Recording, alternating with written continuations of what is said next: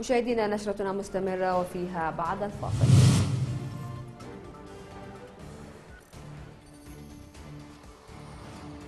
قيادي في الحشد يؤكد أن هجمات عصابات داعش لصوصية تستهدف عرقلة الانتخابات.